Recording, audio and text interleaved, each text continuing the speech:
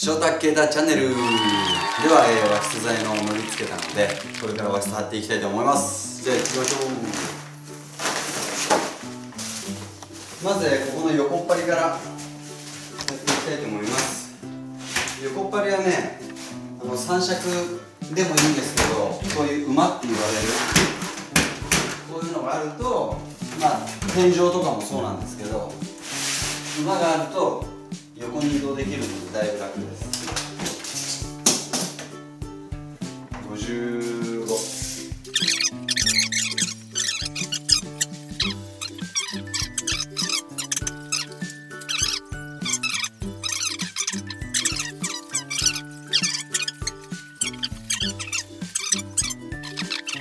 じゃあこれ横っ張り貼るね。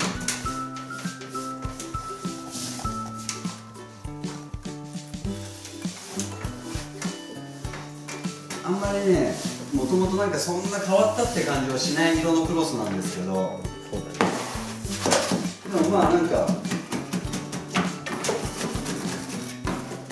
これぐらいのクロスでもなんかでもいいいい感じっすよ。和室だからね。そう和室なんでここはね。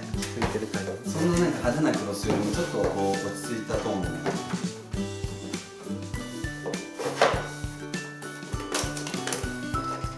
線見えてる？こう角決めて角を決めて。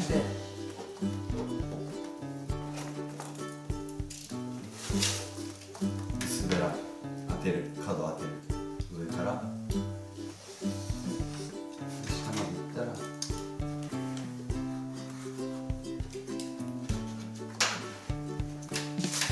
そしたらこの枠ののりこれ。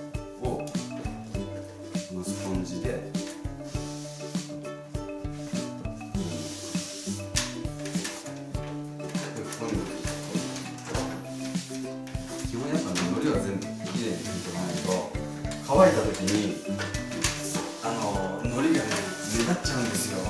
拭き残しがある。あのりが拭き残しがある。って言われちゃうのでしっかりとのり拭いて角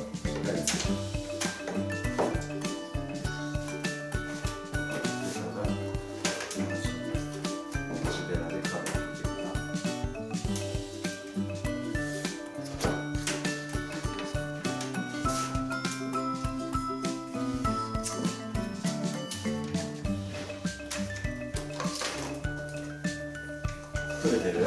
取れてる取れてる。